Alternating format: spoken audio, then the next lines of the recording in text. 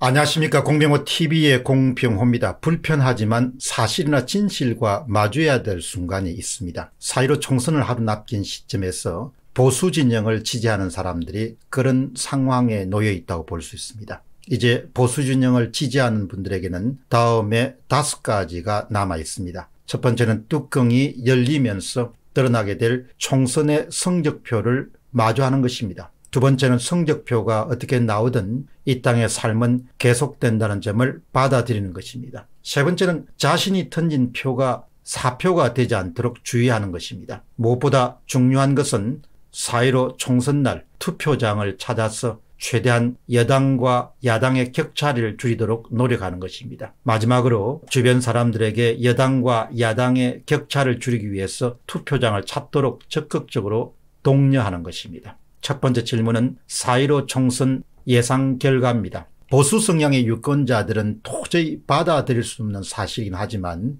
현재를 기준으로 여당이 압도적인 우위를 차지하고 있다는 사실입니다. 여기서 압도적인 우위라는 것은 놀라울 정도의 우위를 말합니다. 이처럼 불편한 결과를 방송하는 것을 두고 보수 진영 내에 패배감을 조장한다 이렇게 비난하는 사람들이 있지만 저는 그렇게 생각하지 않습니다. 일어나고 있는 현실을 직시하려고 할 때 그나마 최선책은 아니지만 차선책을 우리가 찾을 수 있기 때문입니다. 기대만큼 선전하지 못한 야당으로 인해서 여당 압승론이 일어날 가능성이 높다는 점을 기꺼이 인정하고 4월 15일 날 반드시 투표장을 찾도록 그래서 사표가 나지 않도록 투표권을 행사해야 되고 주변의 뜻을 같이 하는 분들을 적극적으로 독려해서 투표장을 찾도록 권해야 될 것입니다. 현재 막판 판세에 대해서는 문화일보의 이정우 조성진 기자는 이런 내용을 취재해서 내놓았습니다. 상당히 설득력 있는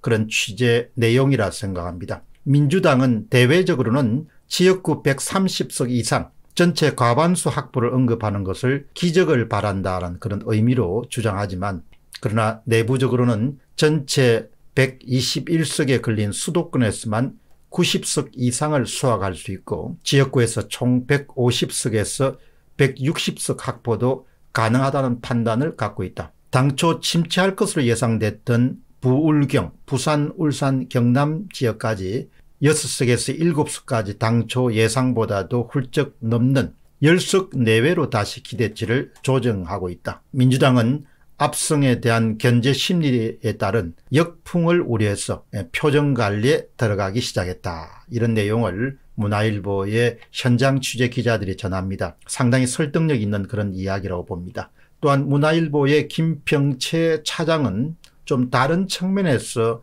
민주당 분위기를 전합니다. 민주당은 21대 국회의원 총선거가 이틀 앞으로 다가온 13일 걸어 잠그기 전략에 도입했다. 내부 입단속을 통해서 막판 변수를 만들지 않는 등 상환 관리에 집중하겠다는 뜻을 비추고 있다. 민주당 지도부는 이날 낙관론을 경계하면서도 약세 지역을 찾아서 대승을 위한 총력전을 펼치고 있는 실정이다. 결과적으로 여권 일각에서 거론되고 있는 범진보 180석 확보 이 같은 주장은 21대 총선에서 실현될 가능성이 있다고 볼 수 있다. 김병채 차장의 주장입니다.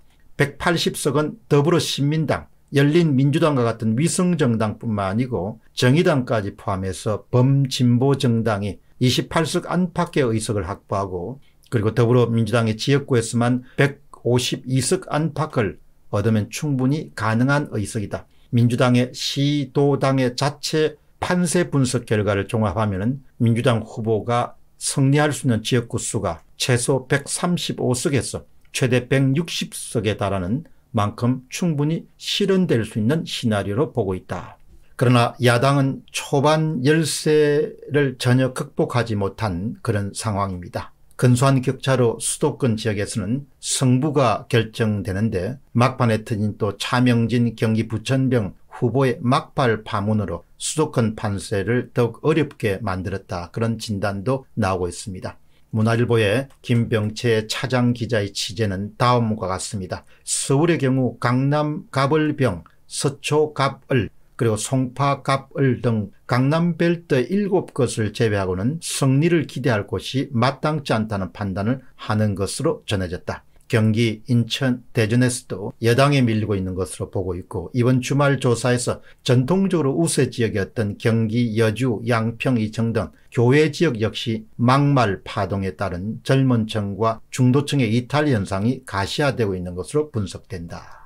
이런 내용은 보수 진영에 표를 던지는 분들 입장에서는 절대 받아들이고 싶지 않은 사실이지만 실제로 분편한 진실이지만 이와 같은 일들이 지금 현장에서 일어나고 있는 것이 사실입니다. 이 같은 결과를 종합하면 어제의 박형준 미래통합당의 공동선대위원장이 개헌 저지선인 200석이 무너질 수 있다. 그래서 우리에게 좀 표를 던져주십시오 이렇게 업수하는 것은 결코 과장이 아니라고 그렇게 볼 수 있겠습니다. 보수진영의 집권을 통해서 문재인 정부의 독주를 막아야 된다고 생각하는 사람들이 반드시 4월 15일 투표장을 찾아야 될 중차대한 이유가 있습니다. 지금은 잘잘못을 따지기 전에 일단은 가능한 여당의 독주를 한 석이라도 더 찾아서 막을 수 있는 그런 의석을 야당이 확보할 수 있도록 도와야 될 것입니다. 책임론은 4월 15일 총선이 끝나고 난 이후에도 늦지 않을 것으로 봅니다.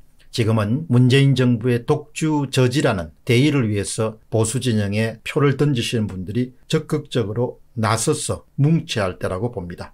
공병호 TV의 공병호였습니다. 감사합니다.